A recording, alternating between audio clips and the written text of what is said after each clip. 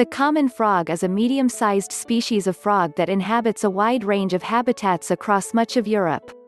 Although the common frog is not as commonly seen in our gardens as it once was, the common frog still appears to be surviving effectively within its environment and is not considered to be an animal that is currently at risk from extinction. The common frog is found throughout the European continent, with the range of the common frog stretching from Ireland in the east to the mountains in western Russia. The common frog is also found in parts of Scandinavia that actually lie within the cold Arctic Circle. The common frog tends to grow to between 6 centimeters and 10 centimeters in length. The common frog has dark blotches that run down its back, with the body of the common frog ranging from green, to brown, to gray in color.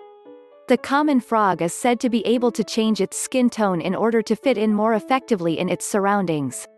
Like many other frog species, the common frog has webbed toes and eyes on the top of its head, in order to better equip the common frog for its aquatic lifestyle. The male common frog can also be distinguished from the female, by a small swelling that appears on one of his toes during the mating season. The common frog is a carnivorous animal and the majority of the common frog's diet consists of small invertebrates such as insects and spiders.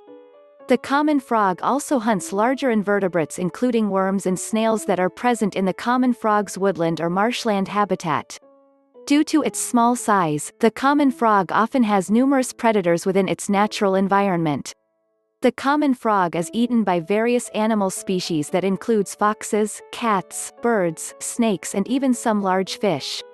Common frogs tend to breed in the early spring, when mating takes place in calm, shallow pools of water. The female common frog lays up to 2,000 eggs in a sticky cluster that floats on the water's surface, known as frog spawn. Once developed the common frog tadpoles emerge into the water where they are fully aquatic until they metamorphose into adult common frogs and are able to leave the water.